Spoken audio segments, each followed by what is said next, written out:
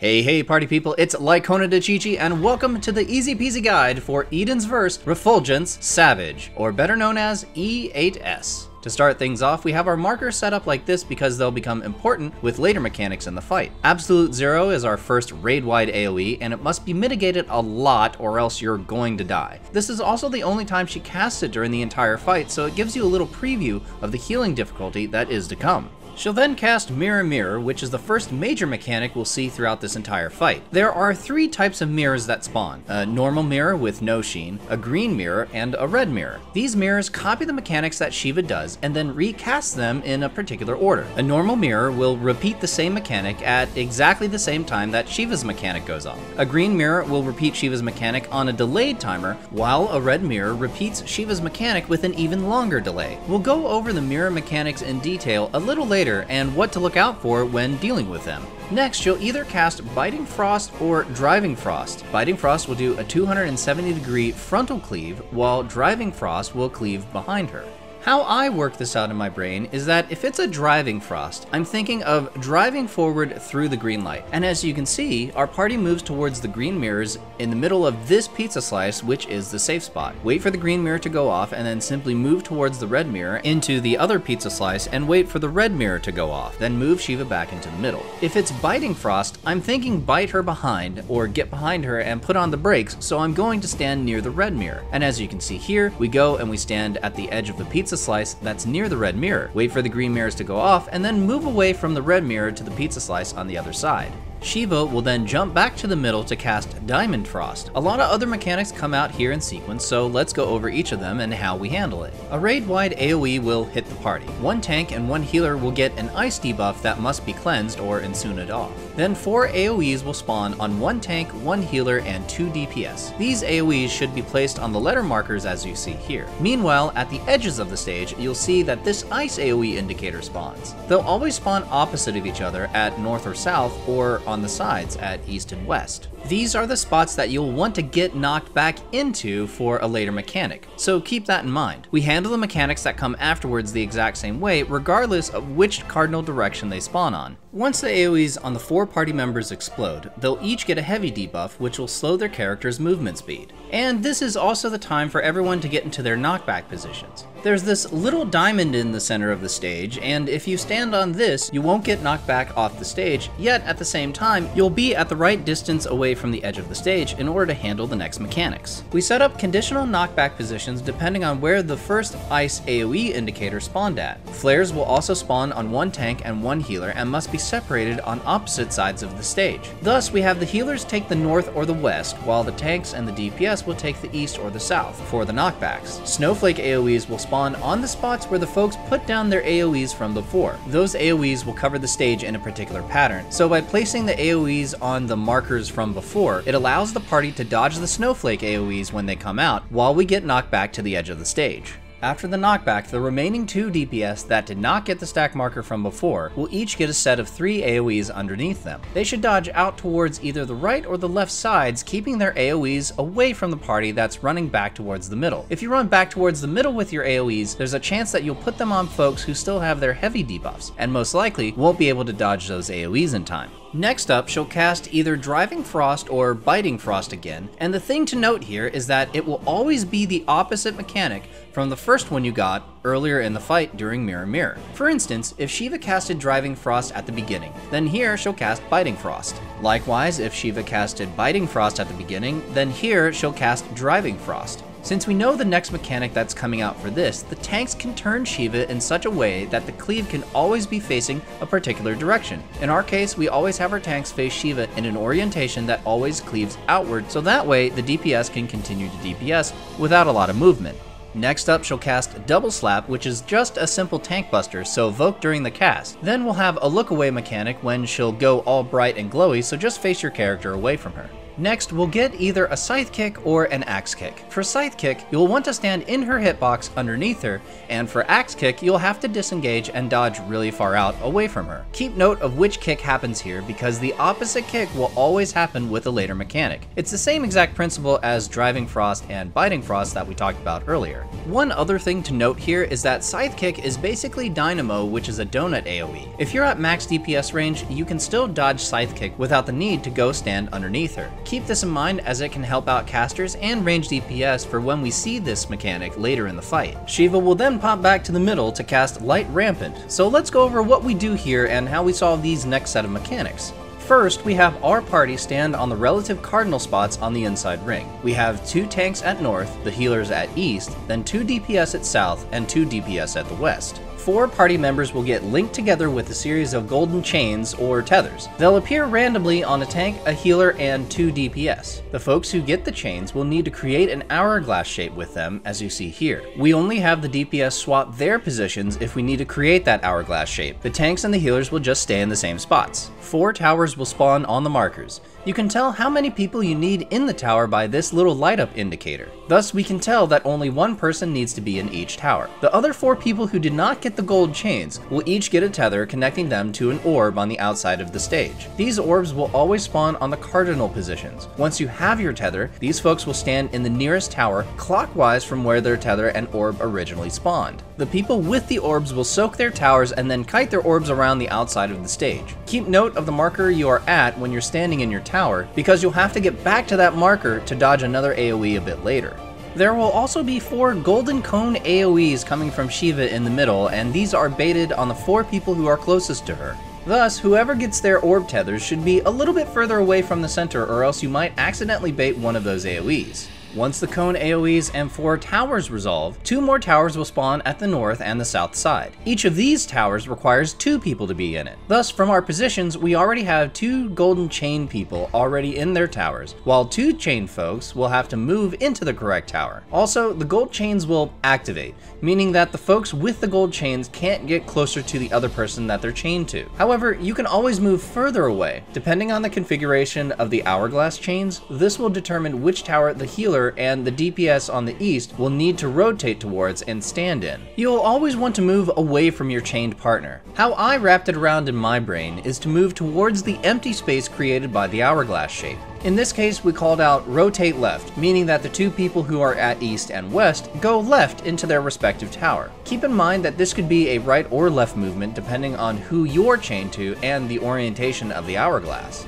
After the north and south towers resolve, the folks who are tethered with the orbs should be standing back at their marker. The orbs will turn small, and this is the point where you run into them. Meanwhile, the gold chains on the four people will resolve after the two towers hit. We then have the two people who moved into these towers move back to their original positions to bait a second set of golden cone AoEs. After all that is finished, the folks with three stacks should go into the last tower which needs four people inside it. After that tower resolves, everyone should be alive to handle the next mechanics. Another thing to mention is that many other groups have different strategies for Light Rampant. As long as you satisfy the towers, the orbs, the AoEs, and the chains, it doesn't matter how you handle this as long as everyone ends up with a maximum of 4 stacks and you survive at the end. So work with your group to find out what the best strategy is. Next up, Shiva will cast Mirror Mirror, and this is the part where she'll cast the opposite mechanic, Scythe Kick or Axe Kick from before.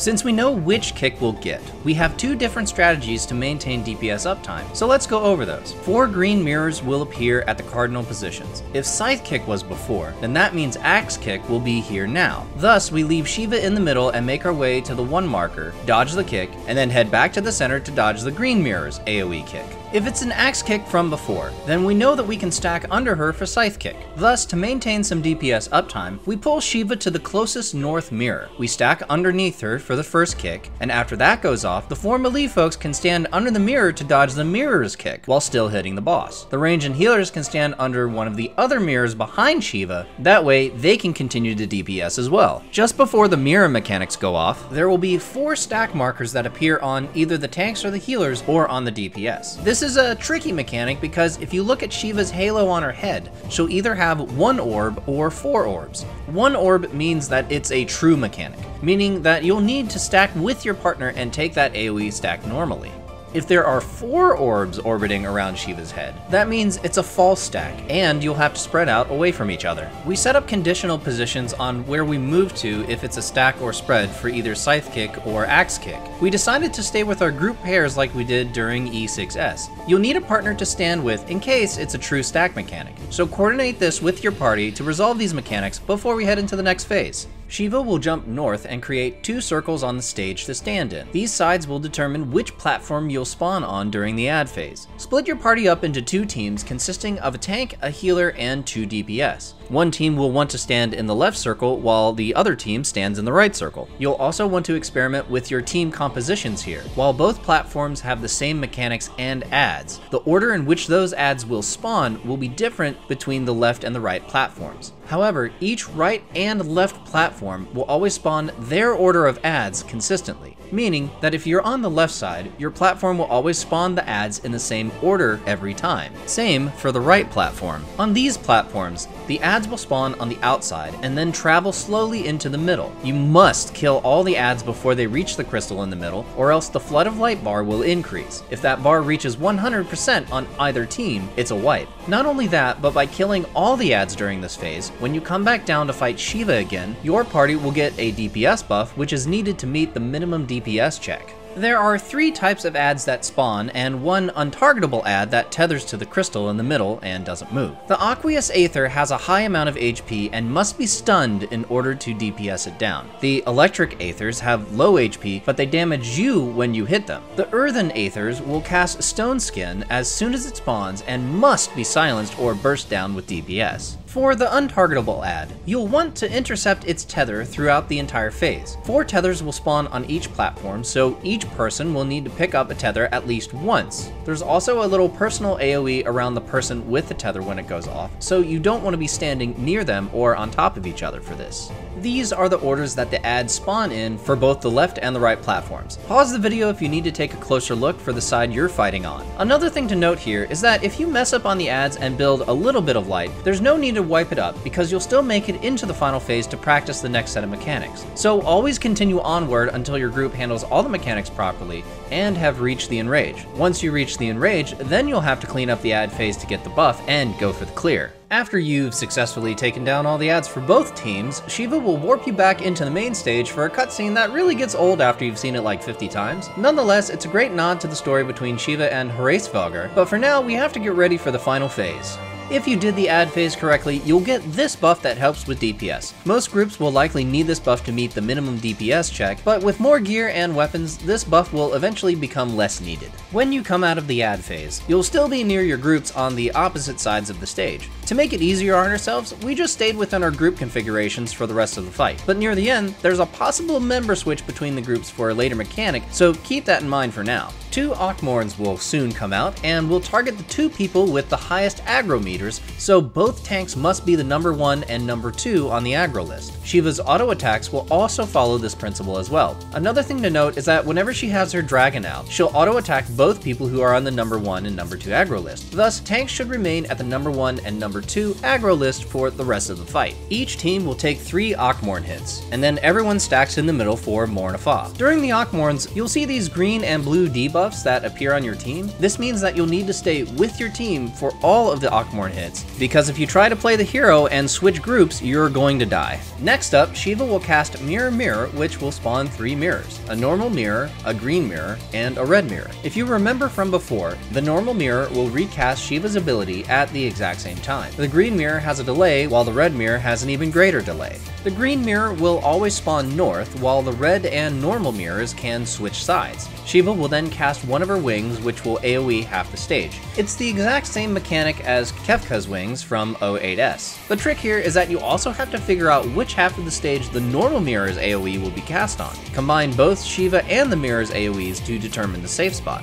Now that we know where the safe spot is, this mechanic becomes really simple once you know the placement of the mirrors. Check out this diagram here. To dodge the next set of AoEs, we simply move one quadrant over each time it goes off, either clockwise or anti-clockwise. The direction of movement depends on the positions of the mirrors. What helps me figure out on which direction I need to go on the stage is that I think red light to green light, referencing the mirrors. If you draw an arrow going from the green mirror to the red mirror, this is the clockwise or anti-clockwise direction that you'll be going. Simply move to the next quadrant over after each AoE and you'll dodge this mechanic every single time. Next up, Shiva will cast Wyrm's Lament. A dragon head will always spawn north on the outer part of the stage. The tanks and the healers will always get red debuffs while the DPS will always get blue debuffs. These debuffs each have different timers on them. How this mechanic works is that the person with the red debuff that has the shortest timer will run to the dragon head and make it explode. The explosion also puts down a small white AoE. You've seen these before in T5 and T9 if you've done those fights. Then the person with the blue debuff will grab their little puddle to cleanse their blue debuff. The cycle repeats until all party members cleanse their debuff and the dragon head disappears. How we handle this mechanic is that we have the healer who has the red debuff and the shortest timer stand on the dragon head which will make it explode. The explosion is very large, so the rest of the party will need to be within Shiva's hitbox during the dragon head explosions. The healer should come back to the party, and then Shiva will use her wings to AoE one side of the stage. The side of the stage that she covers with her AoE is always on the side where the dragon head moves into.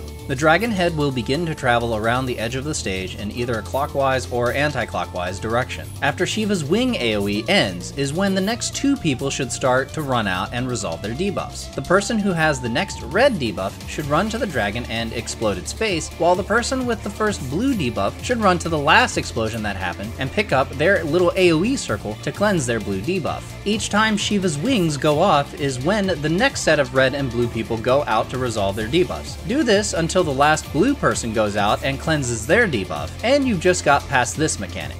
Something that's helped me out for this is that instead of looking at your timer and figuring out when you have to do your stuff later, just wait for your debuff timer to get down to around 10 seconds left. If your timer has about 10 seconds left on it, you need to go resolve your mechanic now. After the last person with the blue debuff cleanses their debuff, everyone should stack right in the middle underneath Shiva. Shiva will then turn the entire stage to ice, and if you move, you're going to slide off the stage.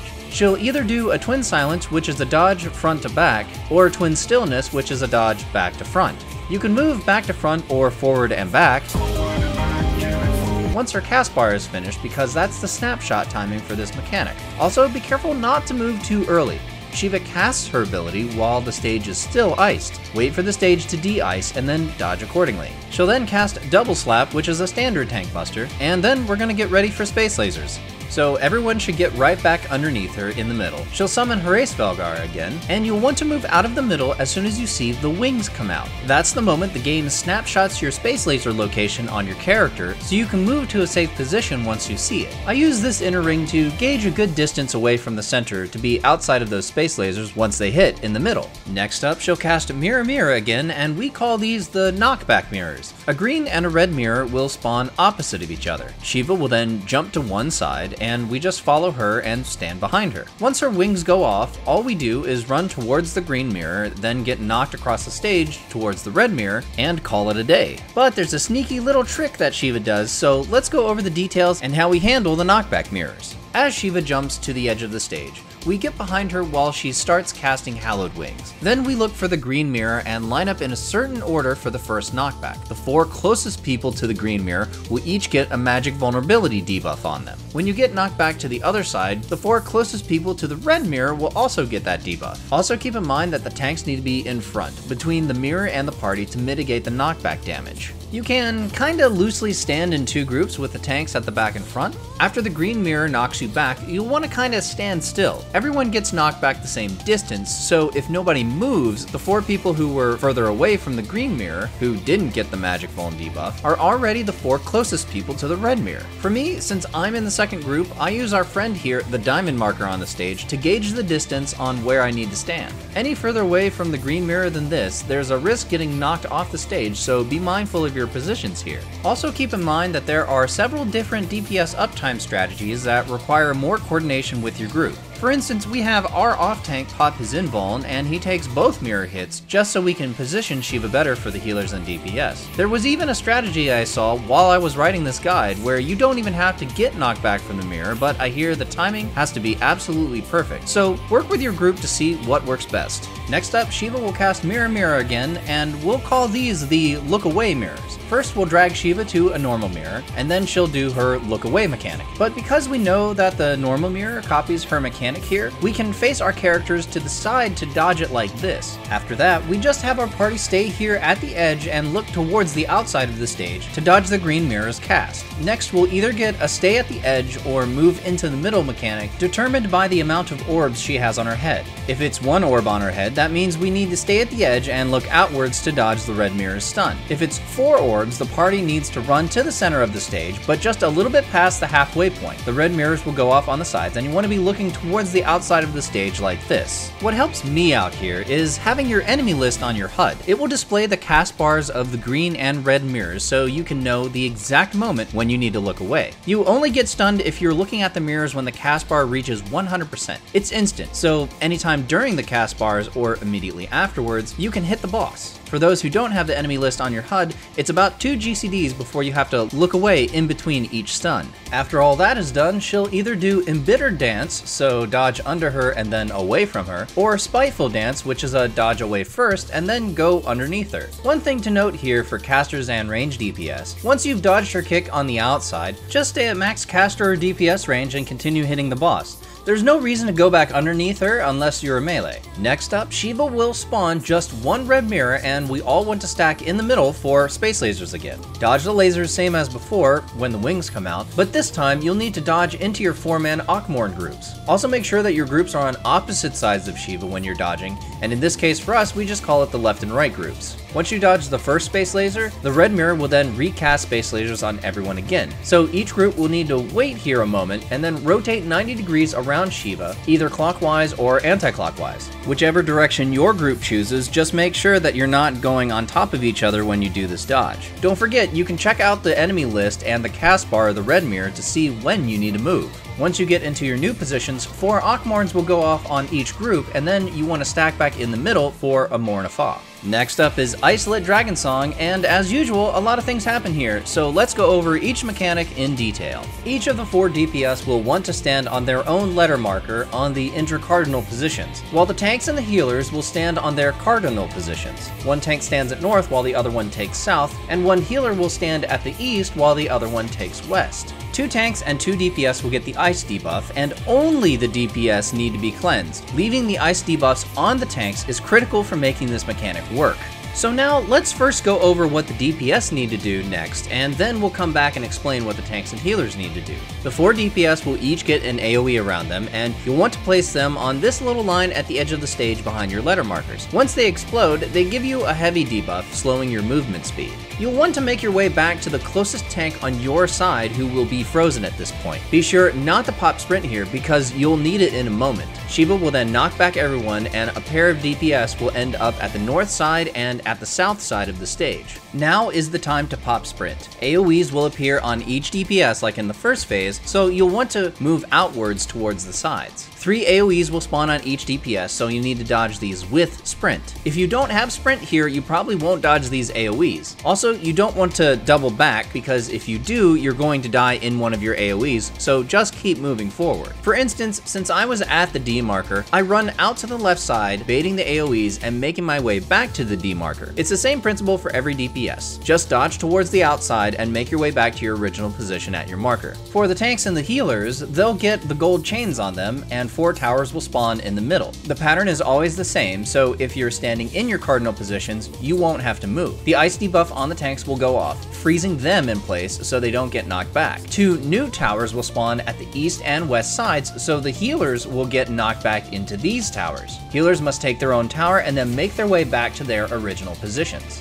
Once the tanks unfreeze, they'll get a little extra mechanic from Shiva. They must look for the halo around Shiva's head, and again, it's a stack or spread. It's the same as before. If it's a true stack, meaning one orb on her head, only the two tanks will stack with each other. If it's four orbs, then the tanks will not need to stack and take their individual AoEs. Right after all that resolves and the DPS are back at their markers, four people with the two stacks of light will need to stand in the last tower. But at this point, you don't want to forget your original positions because next, Shiva will cast House of Light, which will put 8 conal AoEs on each party member, so everyone should be back in their original spots when we started Icelit Dragonsong. Also, don't be too close in the middle as you might accidentally overlap somebody else's AoE cone. After you take those AoE hits, the whole party will want to make their way to the edge of the stage. We chose south in this case, but you can choose any side as long as you're at the edge. She'll cast Mirror Mirror, which will place down a red mirror at the edge of the stage. Meanwhile, the party should stack at the edge and get ready for the stage to turn into ice. She then casts Space Lasers, but you want to be patient here and don't move just yet. The ice stage will go away, and the red mirror will cast ice stage again. Wait for the wings to come out on Shiva, and then zip across the stage to the other side. Make sure not to move after you've dodged this once. You can use your gap closers here when she comes after you, but don't move even if you can't hit her. Wait for the ice stage to disappear again, and then and bring her back into the middle. Shiva will begin to cast Wyrm's Lament again, with a side of friendly Akh Morns and Morn Afahs. So let's go over what happens here. Stack up in your left and right groups. We already saw the red and blue debuffs from this mechanic earlier and what they do. However, for this version of Wyrm's Lament, red debuffs will always come out on the tanks, while blue debuffs will always spawn on the healers. The DPS, however, will also get two red and two blue debuffs as well, but which DPS they'll spawn on will be random. Thus, the DPS have a little extra job job to do here. Each group will need to have two reds and two blue debuffs in it to satisfy Wyrm's Lament. So if two DPS in one group both have the same colored debuff, then one DPS from each group will have to switch into the other group. So how we handle this is that we designate a single DPS from each group to swap groups if the debuffs don't line up properly. For me and our team, I know that Pally and I are in the same group. So if I see that we both have the same debuff color,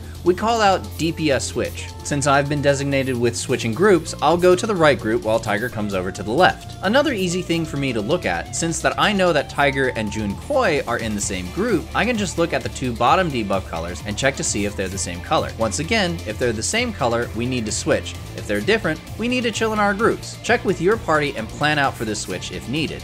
Now that everyone is in their correct group, during the cast of the first Akh Morns, two dragon heads will spawn, one at the north and one at the south. They'll start rotating around the stage either clockwise or anti-clockwise, so keep an eye out for them. Once the Akh Morn hits five times, the tanks with the red debuff markers will need to run out and pop their dragon heads, and then come back into the middle to stack for the Morn Afah. Meanwhile, the rest of the party must stack underneath Shiva while the tanks are popping their dragon heads. The dragon's AoEs are huge, and if you're not directly underneath the boss, there's a high chance that you'll accidentally take an AoE hit and die. After the Morn Afah hits, the healers will run out to cleanse their blue debuffs with the AoEs placed down. At the same time, the party should split back up into your groups. Then the healers will join back into their groups a moment later. Six Akh Morns will hit each group, and after that, the DPS with the red debuffs will run out and pop their own dragon head, while the party gets underneath Shiva, same as before. Morn Afah will then hit the whole party, and then the last two DPS with the blue debuffs will run out and get them cleansed. Stack back with your groups to take seven Akh Morn hits, and then get in the middle for the final Morn Afah,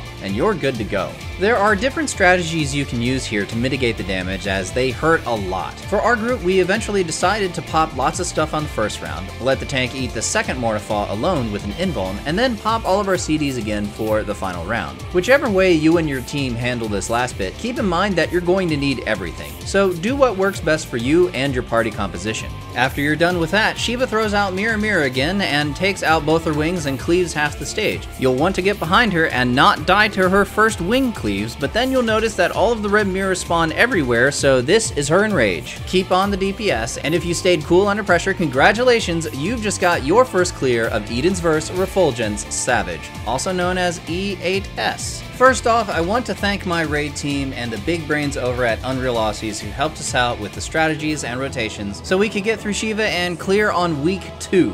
And a very special thanks to Venom, my raid leader, whose videos you saw on the tank perspective, as well as him taking the time to explain all of these mechanics in detail to make sure that all of the information in this guide is accurate. And I'd say this raid tier was pretty fun. Uh, the fights are different, they're exciting. I hear that SE put one developer on each tier to make it uh, different and uh, unique, and I really like how uh, every time you get further into the fight, there's a new little thing that comes up and that you have to solve and that you have to deal with. So I think SE's done a really great job with this expansion, and I can't wait to see the final tier when it comes out. And if you think this guide helped out your team, give it a thumbs up and subscribe for more Final Fantasy shenanigans. And until next time, I'm Lycona DeChichi, and keep on adventuring.